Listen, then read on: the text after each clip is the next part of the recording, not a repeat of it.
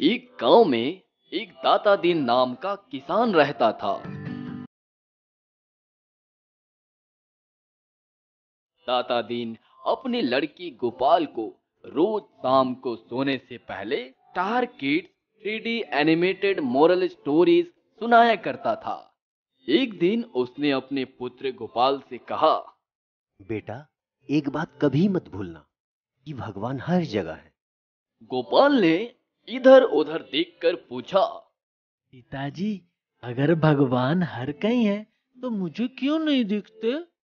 दाता दिन ने कहा हम भगवान को देख नहीं सकते किंतु वे हर जगह हैं और हमारे सब कामों को वो देखते रहते हैं।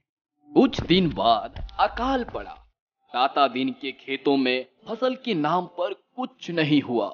दाता दिन दिन रात चिंता में रहने लगा। फ़सल ना होने की चिंता उसे दिनों दिन खाते जा रही थी। एक दिन अपने पुत्र गोपाल को लेकर रात के अंधेरे में वह गाँव से बाहर गया। वह दूसरे किसान के खेत से चोरी करके एक गठा अन्न काट कर घर लाना चाहता था।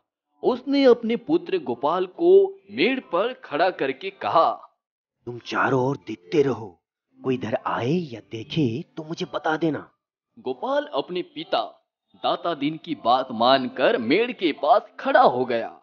जैसे ही दाता दिन खेत में अन्न काटने बैठा गोपाल ने कहा पिताजी रुकिए।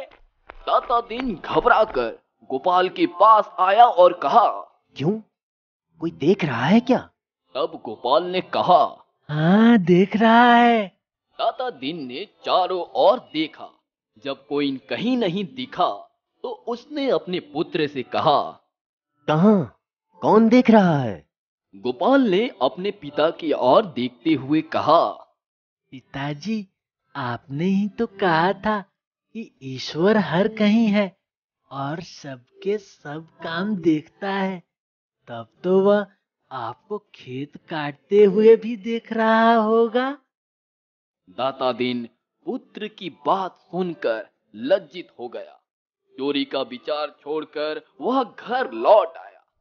इसलिए कहा गया है, ईश्वर हर जगह है और हम सबके कामों को देख रहा है। इसलिए हमें बिना किसी को हानि पहुँचाए हमेशा ईमानदारी और संयम से काम लेना चाहिए। बेईमानी से किए गए कार्य हमेशा नुकसानदायक होते हैं।